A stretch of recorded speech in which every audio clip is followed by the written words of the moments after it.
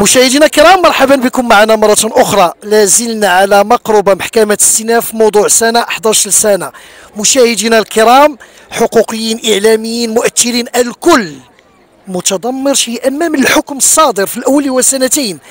معايا جمعية إنصاف. مشاهدينا الكرام جمعية إنصاف جمعية لها مميزات خاصة تختلف بها عن الغير. تناولت في السنة الفارطة مجموعة من الحلقات حول التكوين والأهداف ديال الجمعية جمعية ممتازة وكان لها سند قوي في مساعدة سناء 11 سنة. معايا الآن ممثلات الجمعية تبعت المسار من الأول ساعدت سناء في مجموعة من المراحل. غادي نشوف كيفاش شافت الحكم. أستاذة جيتي في إطار وقفة تضامنيه في الموضوع. الحكم شفتيه؟ موضوع النقاش جمعية إنصاف كيفاش اللي تبعت المسار سناء كيفاش كتشوفوا هذا الحكم؟ اولا إحنا مدمرين بذاك الحكم اللي تصدر في حق آه، ال- ال- المجرمين المغتصبين ديال آه، الطفلة ديال 11 سنة. آه، جمعيات إنصاف ما ممكن غير تنضم الجمعيات اللي منددة بالحكم. آه، تصدم صدمنا واصبنا بصدمة قوية. اش غنقول لك؟ تصدمنا وما كناش كنتظروا كان عندنا أمل أن ما كناش شاكين. ولو لحظة أن الحكم غيكون بهذه بهذه السهولة وبهذا الاستخفاف.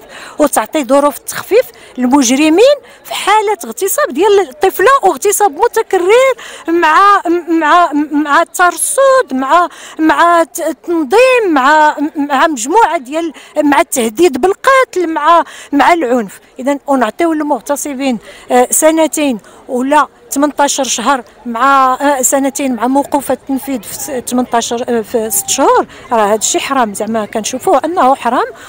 وهذا عبث وكنقولوا أن هاد هاد الأحكام راه كتشجع كتشجع آه، كتشجع ال- الوحوش الأدمية باش تفترس الأطفال ديالنا وما يكونش عندهم حتى شي حتى شي جزاء.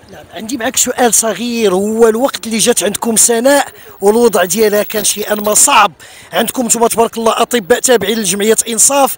بديتوا معاها بالعامل النفسي. لكم دور كبير مع سناء غادي تعاودي لي الاستاذه اللي تنوي الرأي العام وكذلك رسالة للمراحل ديال التقاضي اللي باقي. أنه القاضي تا هو غادي يشوف هذه الأمور. لما لا يعرف هذه سناء كيفاش مرات من هذه من هذه الأزمة. كيفاش لقيتوها في الأول؟ سنة كانت مدمرة. وعاود دمرات من سمعات الحكم. ولكن حنا عالجناها في واحد الفترة معينة يعني في ديك الفترة اللي كنا استقبلناها وساعدناها.